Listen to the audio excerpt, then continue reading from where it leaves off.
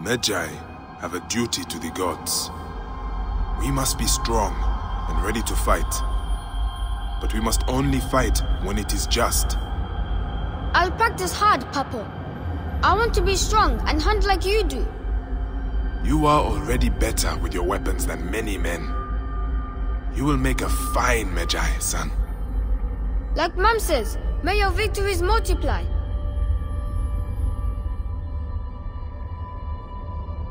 The Divine Lion, the powerful one. Her breath formed the desert, the fiercest of hunters.